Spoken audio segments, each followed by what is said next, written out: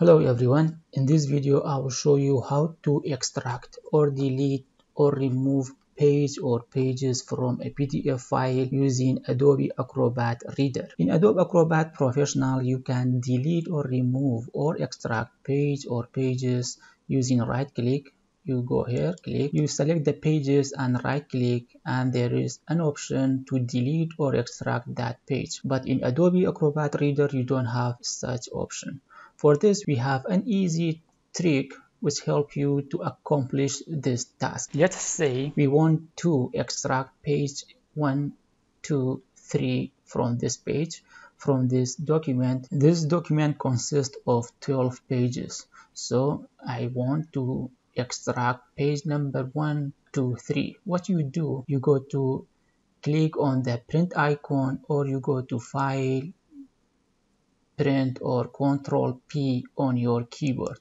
Then we have a dialog box for printing.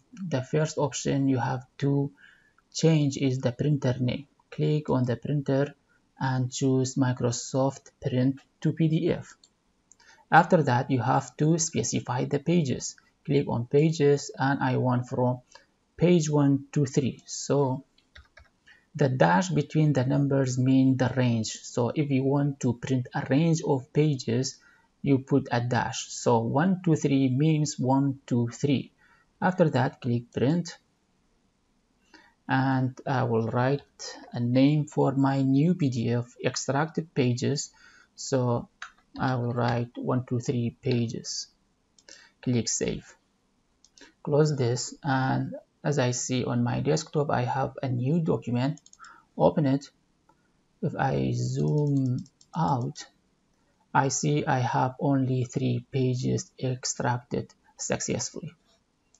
Now if you want to extract pages in the middle for example I want to remove page 3 and 4 from this PDF file. What I will do, same way I will click on print icon and choose a printer Microsoft print to PDF and from here pages I want to remove page number 4 so I will put 1-3 means the range from 1 to 3 so it will print 1 2 3 then if I want individual pages, I will put comma. Then I will write the other pages which I want to print.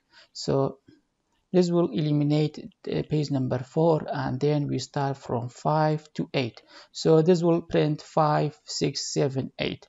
And now if I want to remove page number 9, I will start from 10 to 12. Then it will print 10, 11, 12 so let me make this uh, 6 in order to remove page number 4 and 5 and then it will remove page number 9 as well so after clicking print it will ask me for a name for my a new PDF file. So I will put custom pages.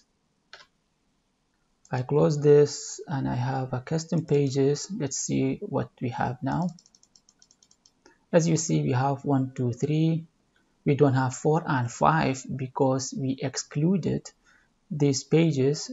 We have 6 7 8 we don't have page 9 uh, we use it comma to eliminate or remove that page from the range so this way we were able to remove or extract pages from a PDF file using Acrobat Reader.